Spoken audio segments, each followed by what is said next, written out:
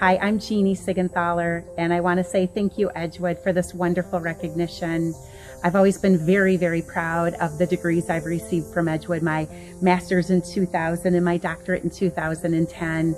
I've always followed that Edgewood promise and mission to connect learning, beliefs, and actions with meaningful leadership and service. The connections, the resources, and the networking that I've obtained through Edgewood um, have really helped make me who I am today.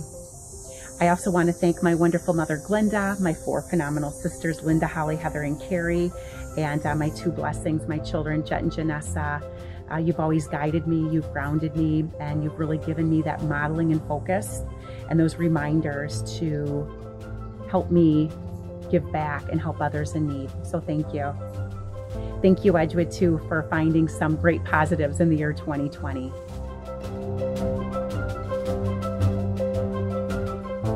Hello, Edgewood College. I'm Ryan Collins.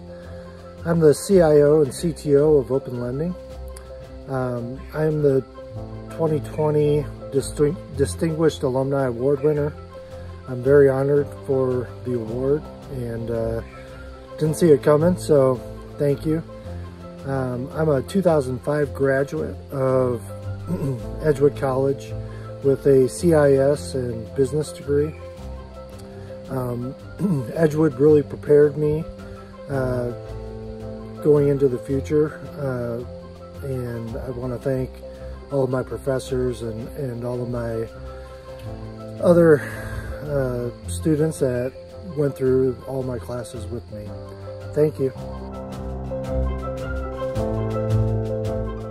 My name is Sister Callista Robinson. I am a Little Falls, Minnesota Franciscan and I graduated from Edgewood College in 1975 with a BA degree in elementary education. I am truly honored to receive the Dominican Mission Award. My focus is on social justice, especially in the Black community. This is why my ministry has focused on education as a teacher and administrator in predominantly black schools in Milwaukee.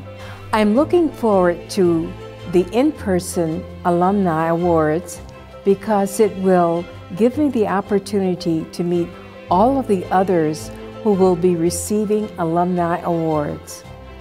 I'm also very excited about touring the campus and hearing more about the existing and new programs that Edgewood College has launched since I graduated. And I thank you once again. I'm looking forward to this in-person award.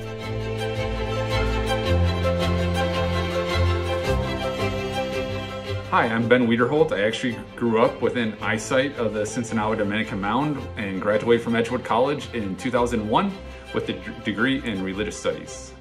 And I'm Jess Hypo Wiederholt. I graduated in 99 with a degree in child life education.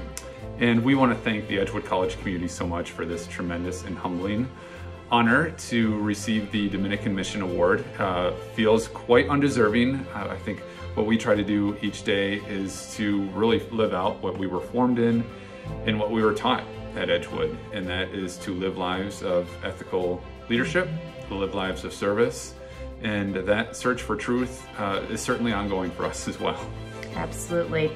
I'm just so grateful for um, how Edgewood taught us just um, to live out justice and compassion into the mm -hmm. world and doing that whether it's within our homes with our families, throughout our mm-hmm. communities with us, our community here in Denver, and just empowering people globally with um, the uh, global sisters that we work with in Uganda. Yeah. So again, thank you so much. We can hardly wait to be back on the Edgewood College campus next year to celebrate with the community, uh, with other award recipients. Edgewood has such a huge place in our hearts and we hope everybody stays safe and be well and love generously. Thank you so much.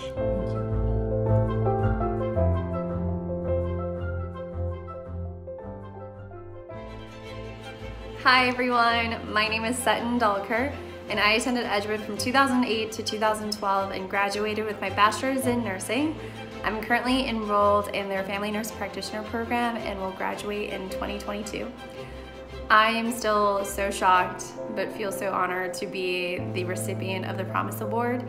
Being an immigrant, a woman of color, a veteran, and a nurse, it feels really good to be recognized for the things that I've done.